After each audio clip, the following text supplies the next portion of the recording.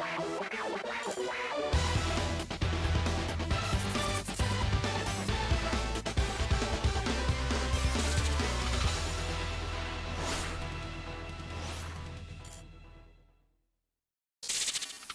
Hello everyone, how are you doing? This is MD Tech here with another quick tutorial. Today I'm going to show you guys how to resolve if you're experiencing problems with your mouse cursor on your Windows computer.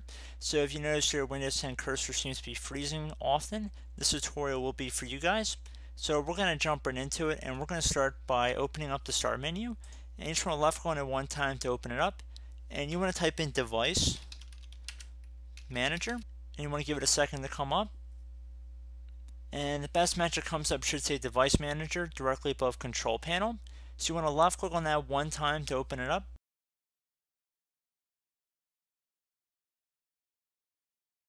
Okay, so now in the Device Manager window, what I'm going to do is I'm going to go down to where it says Mice and Other Pointing Devices, and I'm going to click on the little arrow next to it to expand the view. You can also double click on the mouse and other pointing devices as well and you want to look for whatever your main pointing device is. So I'm on a virtual environment here, so it might look a little bit different for you guys. But let's say this is my main mouse here. And what I want to do is right click on it and then left click on update driver software. And then you want to search automatically for updated driver software by left clicking on that one time. And this will take a moment, so just be patient.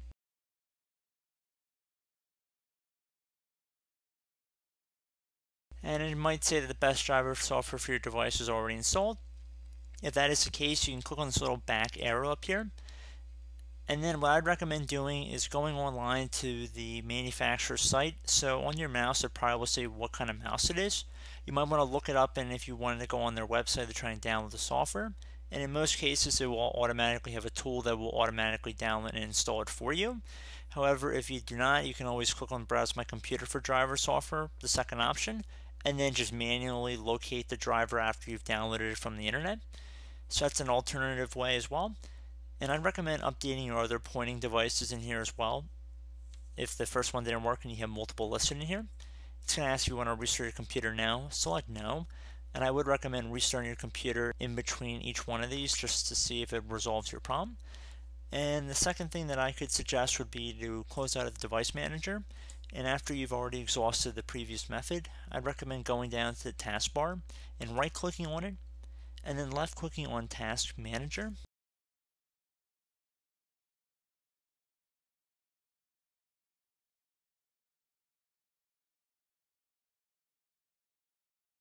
If your Task Manager view looks like this, you can click on this More Details button right here.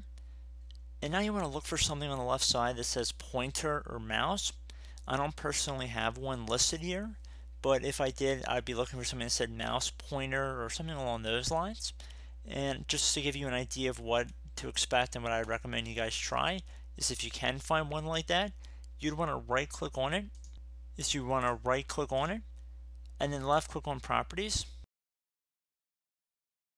And then you want to go to the compatibility tab up here, left click on it, and then underneath compatibility mode, checkmark inside this box to run this program in compatibility mode for, and I'd recommend selecting either Windows 7 or Windows 8, and then you click on apply and OK. And then again, I'd recommend you restart your computer, and hopefully your problem has been resolved.